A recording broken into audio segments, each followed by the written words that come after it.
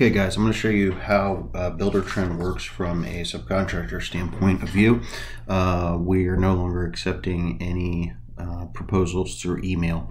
Uh, everything needs to be done on Buildertrend. It'll make um, your life easier and our life easier as well. So over on here on the left hand side you can see the couple jobs that we're working on right now and I'm going to show you how to submit a bid um, for a job. So this specific job is Belmar Pool House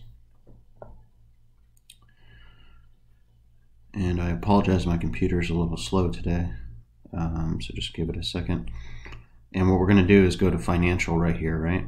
And we're going to click bids.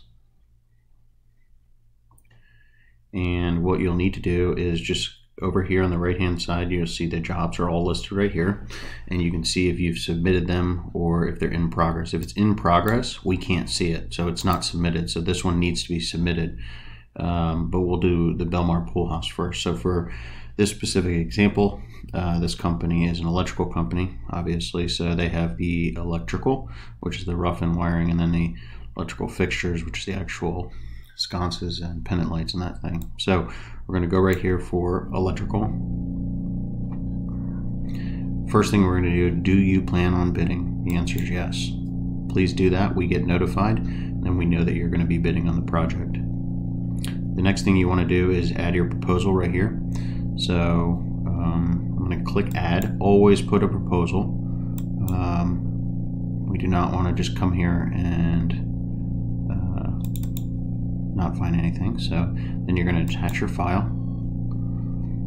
And then there's two other steps. I, for, I actually forgot how much this was. I think it was $3,800. Oh, that's Viking, sorry. Um, just going to go on a split screen here real quick. Proposal. So, okay, let's just say I did make a mistake.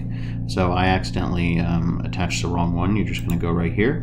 You're going to go ahead and delete it. And then you're going to add it again. Browse my computer.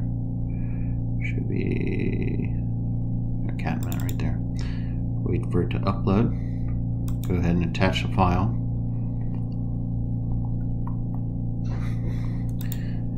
Believe it was $3,800, so I can always view it. It is 3,800. So people are making mistakes on this one. Remember to change the quantity and the unit cost. So 3,800. And right now, if you don't put quantity, the bill, the cost right now is zero. So make sure to put a one right here. Now your total proposal's right here, right? Go to the bottom. Don't click save for later. Um, click submit bid. Are you sure you want to submit this bid? Yes. Okay. Uh, then when you go over here, you can see right here, electrical. Um, this is the attachment, or excuse me, that's the messaging. Uh, it was due in two days. You did say you're going to submit it. 3800 and submit it. So over here, we're going to go ahead and fix this. Remember, if it's in progress, I can't see it. So you're going to go to electrical Uh, you did hit yes, so the yes, we're going to bid on it. 4800. The thing that's missing here is there's no proposal. So we would need to go in here and add a proposal so that we know what this includes for the 4800 and then you're going to hit submit bid after you're done. But first thing is this person needs to add a proposal and then uh, go ahead and start it. So that's how you submit it. You can always kind of see where we're at at any given time. Just go to financial bids. You can see all the projects you've been invited to. Those are the active jobs. And then you can see which ones you lost, lost one. And you can also see a couple others. So like for example, um, this proposal was for Rosedale. Uh, it had been submitted, uh, but it has not been awarded. So at any given time, you can see where we're at with projects. So reach out direct me, uh, directly if you have any questions. And I appreciate you guys doing this. Thank you.